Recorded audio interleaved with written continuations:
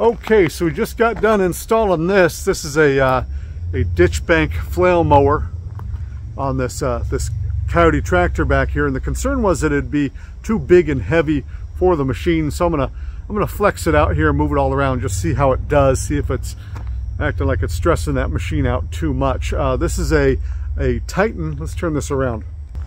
This is a Titan ditch bank flail mower, so it'll flex out this way. It'll do this kind of stuff all that stuff. This is a 145 Flail DB. Those numbers and letters mean nothing. This is a 65 inch wide unit, 57 inch wide cut. Um, the tractor it's going on is a Kioti CK series, so a CK 4020.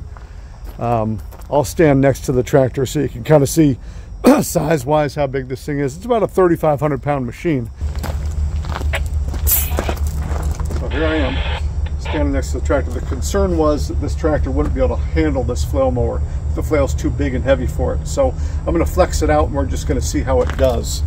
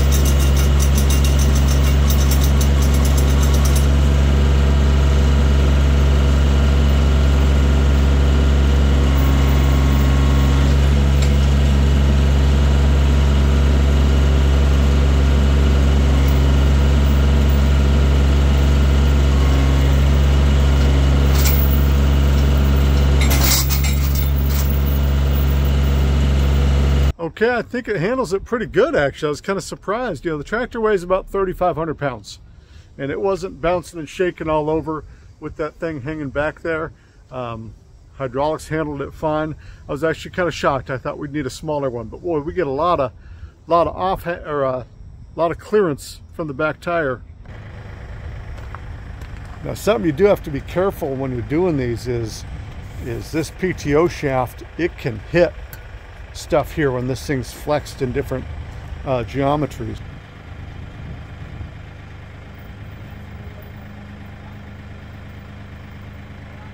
Yeah, I'm pleasantly surprised. It handles this flail pretty good. Uh, get it out to the customer and see how it cuts for them. That's it, man. The uh, the Titan ditch bank flail mower.